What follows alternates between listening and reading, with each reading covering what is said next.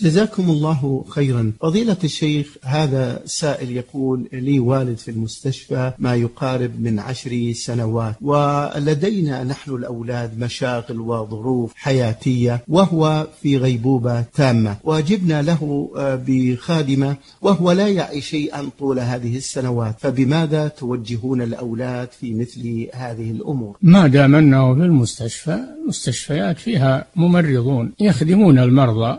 وإذا أتيتم بخادمة أو خادم والأولى أن تأتوا بخادم. ذكر. الأولى أن تأتوا بخادم ذكر يتولاه ويقلبه وأيضا يساعده في قضاء حاجته وقد يكشف عورته فأتوا له بخادم ذكر. نعم. فضيلة الشيخ الأولاد في مثل هذه الحالة ووالدهم في المستشفى لهم أجر عظيم في محاولة يعني الاهتمام به والوقوف معه لا شك أن هذا من البر بالوالد سيما عند الحاجة فهم يعتنون به ويزورونه ويتفقدون حاله ويلاحظونه وإذا جعلوا عنده خادما رجلا تولى شأنه في غيبتهم هذا من البر والإحسان. نعم.